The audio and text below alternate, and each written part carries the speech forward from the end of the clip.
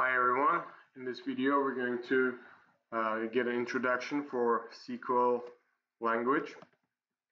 First of all, uh, what is SQL is used for?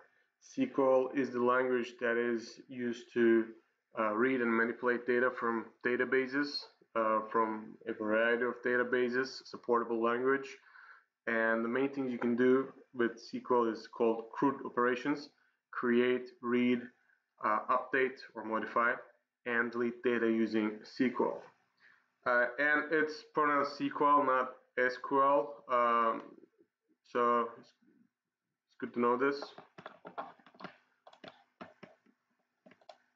Now, SQL has a certain structure, and these mainly it is made up of two different types of statements. Uh, first of all, is the reserved words and user-defined words.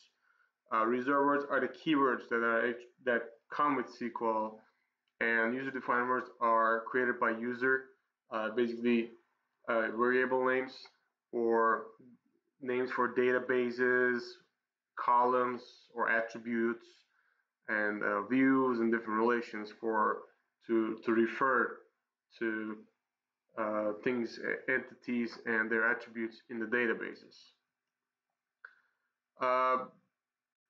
Part of the user-defined words may include literals. Uh, literals are like constant variables. Okay, they're constants, and uh, they are case sensitive. Now, the rest of the SQL statements are not case sensitive, but literals are. And an example to give an example of literals, think of Chicago it can be the city name. In, let's say you you have a database about cities and the city name is Chicago. Now it's a non-numeric uh, literal and it has to be uh, enclosed within single quotes. Uh, otherwise you're going to get an error message. And on the other hand, numeric literals, they must not be closed. They cannot be closed. For example, 234. This cannot be uh, enclosed with literals. If you define it, when you create a database, if you define a type as a numeric, it cannot be. But if you define the type as a, a varchar, like some string or text, then it has to be enclosed because then it's a non-numeric literal. Uh, this is the basic select statement syntax. Um, whenever you want to read data from the database, you have to start with a select statement. So a select statement reads data from the database. And after select statement, there are certain keywords that can come. Uh, I'm going to get into some of them in this video. Some of them will be for the next one. Uh, depending on how what kind of data you want to fetch, you can use the distinct keyword or all keyword.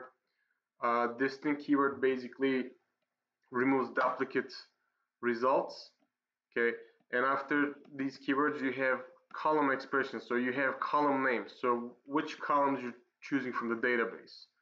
Uh, for example, this is the database we're going to be working on. It's from the book, the textbook. Let's say you have a branch. You want to read, uh, you want to get the, all the branch numbers, streets, and cities. Then you can type select branch number, street, city. So these these these column names will come after the select statements. And then from uh, shows which table you're actually choosing this from because the database, the management system doesn't know do you want to fetch these columns from the branch or staff or property for rent.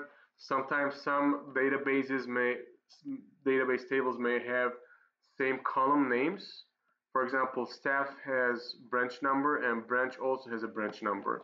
So you have to specify which tables uh, you're referring to. That's what the from is used for.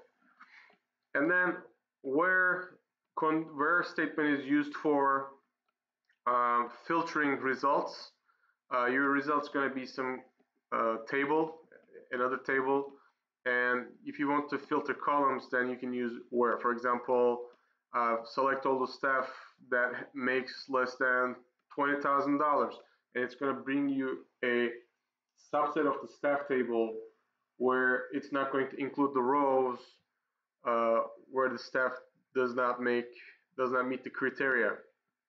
and group by, order by will be covered in the next video. But group by is used to group data. And for example, uh, total salary for each branch. Okay. And order by is used to order the data in an ascending or descending order. So uh, let's uh, start with let's start with um, going to PHP MyAdmin. Uh, by the way, we're going to work on this Dream Home database. So if you haven't watched the video that I sent you uh, that shows you how to import the this Dream Home database, you should first watch that one because we're going to work on that database. Now, once you create import the database, you have a Dream Home database. These are the tables, so you can actually see that branch, staff, and then property for rent. All these tables are included here. And then we have the client table, we have the private owner viewing. So pretty much all the tables that are included with the data are here. If I click on the branch, you can see all the branch data. Uh, by the way, this is what a database table looks like. It's rows and columns. So each horizontal line is a row, and each vertical uh, co column is, is the column, and it's also called an attribute. So branch is an entity, and this entity has attributes such as it has a number, it has a street, it has a city, it has a postcode, or and then a staff. Staff is another entity, and you have you see that it has attributes such as first name, last name, because the staff is a person, and what kind of position they have. Uh, is the manager? Is, is is the person a supervisor? Their gender, date of birth, etc. So let's uh, write some SQL code uh, to practice this statement first. So let's uh, go to SQL tab. So this is going to open a SQL editor. And let's start writing here. First of all, uh, let's get all the first names and last names of the staff uh, staff table from the staff table. So basically I'm going to type select of f name first name for if you don't remember the columns you can open up and open the columns here and you can see first name last name so first name second comes the last name and then next one is going to be from and I'm choosing it choosing these attributes from the staff table. So I'm going to refer to the staff table. And that's pretty much it. So click on go here.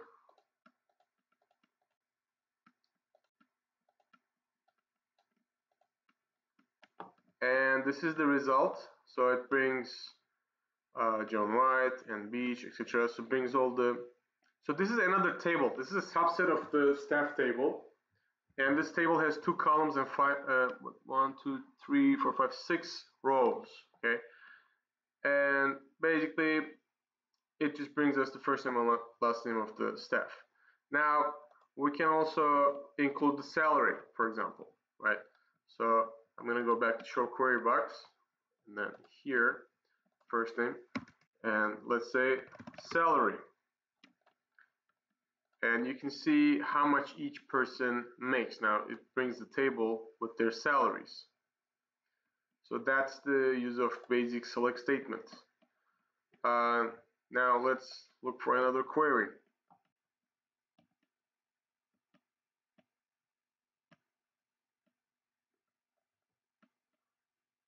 So I'm going to bring cities that have a branch uh, in the SQL. So go to query box, select city from branch, and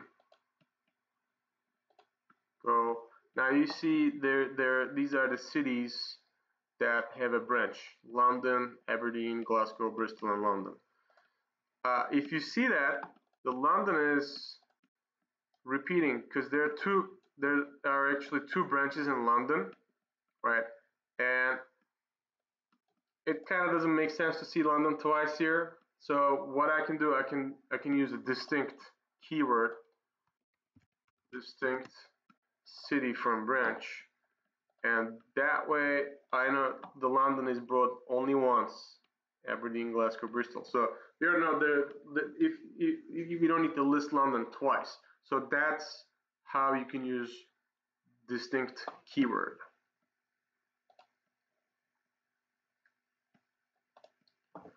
Uh, next, going forward, we have, let's do some exercise with the where. I'm going to show how to use the where condition. Um, where condition is used for basically creating a search condition and returning the results that fit that criteria. If it does not fit that criteria, you filter them out and they're not in the uh, last table that is brought the output. Now, you can use certain different operators with the where condition. These are comparison operators such as greater than, less than, equal, not equal, uh, greater than equal, less than equal. There, you can use logical operators. Actually, there's also not, and, or, and, not. Uh, there is range search between and for example salary between You're choosing people's salary people who make between 20,000 and 30,000 then you can say where salary between 20,000 and 30,000 and set membership is another one where you have the keyword in so the value you're looking for must be within the values that follow the in keyword Okay, so let's do some examples of these. For example, I want to choose those uh, staff members who make between uh, 15,000 and 30,000, right? So select first name, last name, salary from uh, staff table now I'm going to use the where keyword, where uh, salary between 20, sorry, 15,000 and 30,000. And you can see there are three people, John White, David Ford. By the way, 30,000 is inclusive there. So these are the uh, returning results. Now you can write the same thing using logical operators, right? You can say salary equals 15, uh, not equal, sorry, greater than or equal 15, and salary is less than equal 30,000. So this is, is the same thing. Last name, hit an error message. By the way, this is what happens when you have an error message and you have an error in SQL syntax, checks manual, etc. So yeah, we have a problem with this operators here. Okay, so make sure the greater sign is before the equal sign. That's how the equal greater greater than equal is written. Okay uh, we get the same result. Let's do, so this is using uh, logical operators and comparison operators because this is a comparison operator and this is a logical operator. You can also use OR. Now the next example,